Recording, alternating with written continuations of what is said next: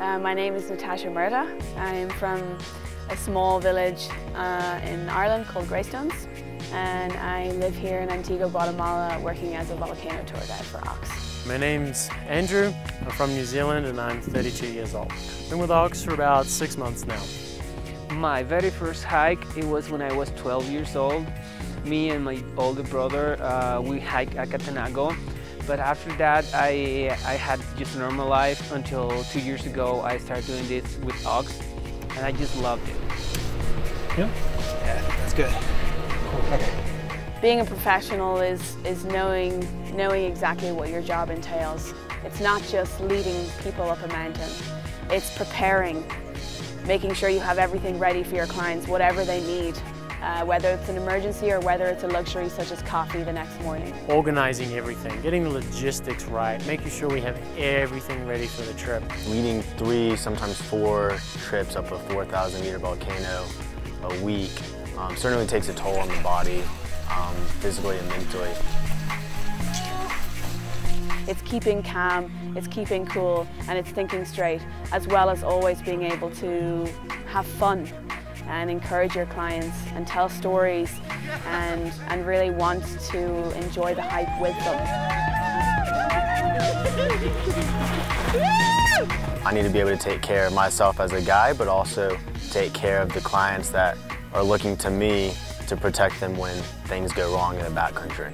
Uh, it's about managing the people as well, and I think that's one of the hardest things to do. A lot of people have panic attacks, they break down, they think I gotta turn around, and for me to, you know, take them aside and be like, no, you can do this, and, you know, this is the only chance you have to do it. You have to do it.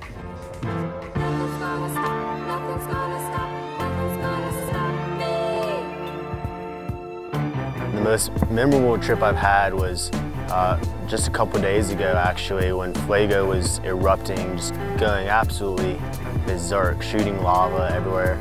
Everyone's just in absolute awe, including me. I've never seen anything like it. And uh, it was just absolutely magnificent.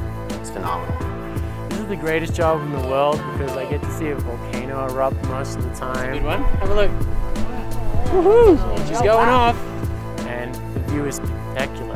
My fitness is incredible now, which is great. And also, I just have a, a sense of adventure. I'm never bored around here. I never know what's going to happen or, or who's coming or what the weather's going to do. And that for me is truly exciting.